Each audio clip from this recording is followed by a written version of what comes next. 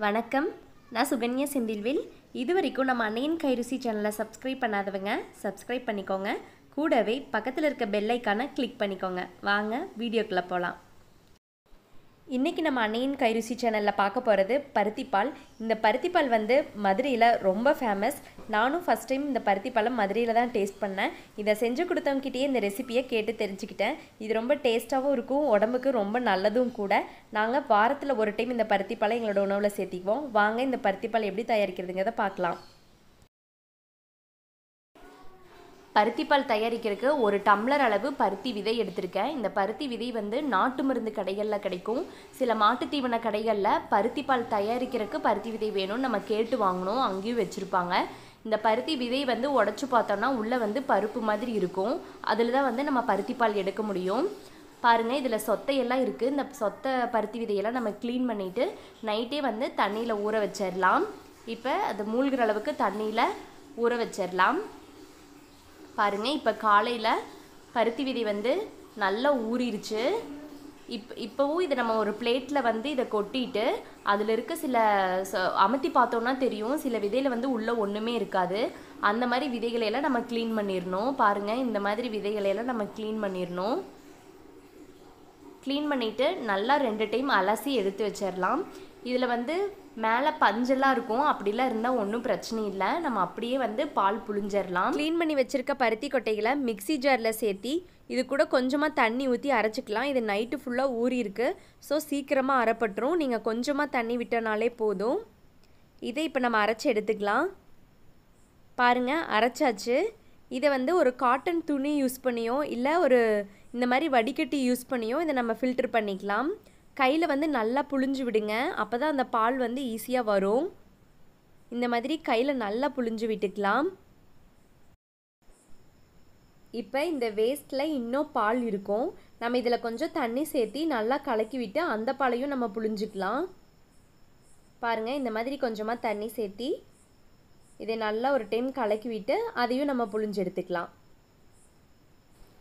பருத்தி கொட்டையிலேருந்து பால் புழிஞ்சு எடுத்து வச்சுருக்கேன். இப்போ இது செய்ய தேவையான பொருள் என்னென்னு பார்த்துடலாம் சுக்கு ஒரு டீஸ்பூன் எடுத்து வச்சுருக்கேன்.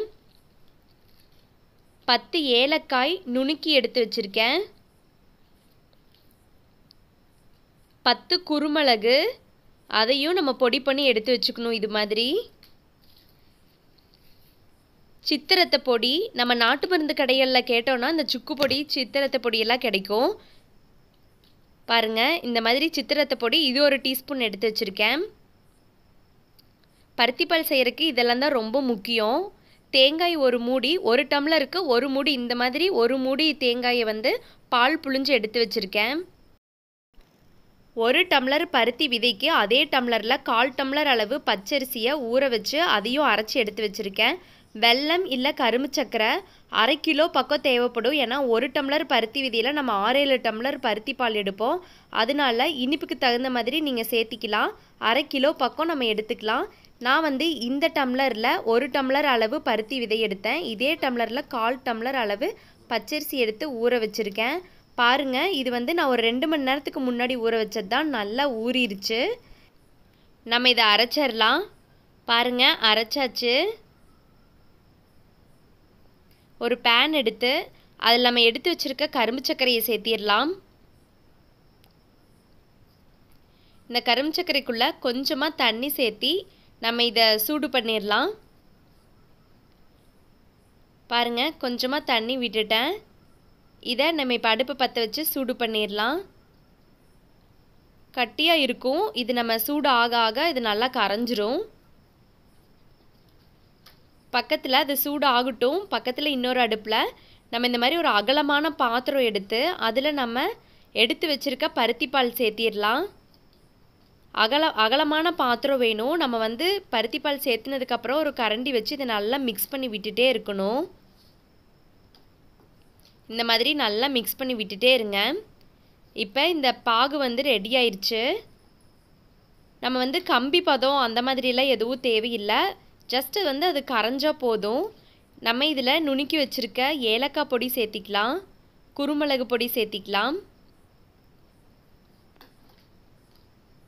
சுக்கு பொடி இதில் ஆட் பண்ணிக்கலாம்.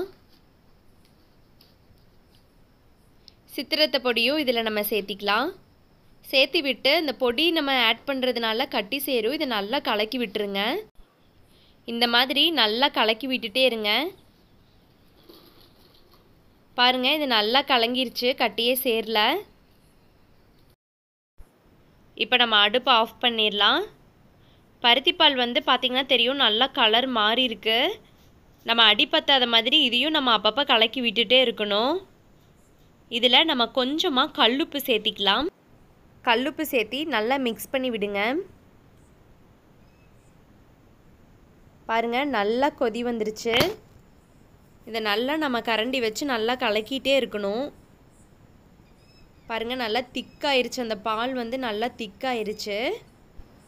இந்த பருத்தி பால் வந்து உடம்புக்கு வந்து ரொம்பவே நல்லது. அதுலேயும் பெண்களுக்கு ரொம்ப ரொம்ப நல்லது. வாரத்தில் ஒரு டைம் இல்லை ரெண்டு டைம் ஆகுது காலையில் வெறும் வயிற்றுலையோ இல்லை நம்ம படுக்க போகிறதுக்கு முன்னாடியோ இதை நம்ம செஞ்சு குடிக்கலாம். பாருங்கள் இப்போ நல்லா கொதி வந்துருச்சு.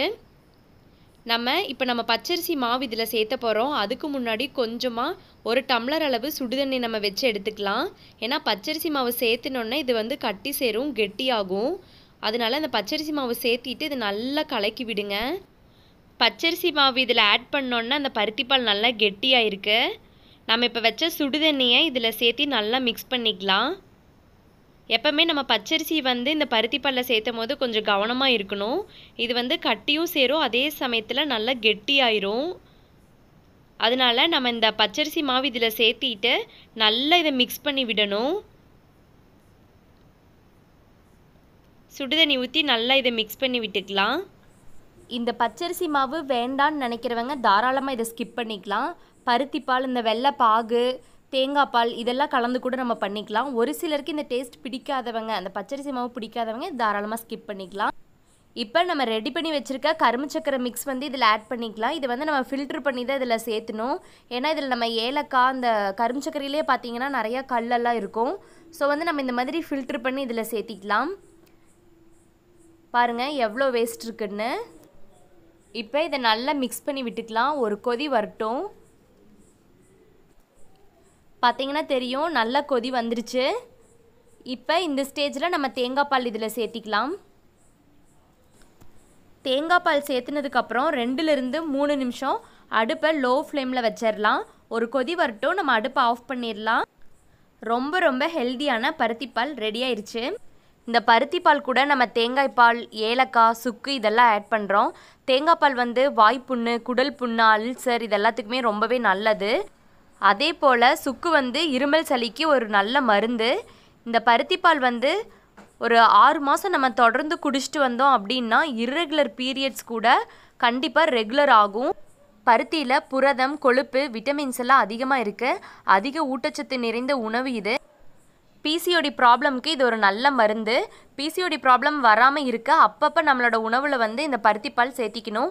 அதே போல் உடல் வந்து அதிக வலிமை பெறவும் இந்த பருத்திப்பால் அதிகமாகவே உதவுது. இந்த பருத்திப்பால் ரெசிபியை கண்டிப்பாக நீங்கள் வீட்டில் செஞ்சு பாருங்கள் இந்த வீடியோ உங்களுக்கு பிடிச்சிருந்ததுன்னா லைக் பண்ணுங்கள் healthy food happy life thank you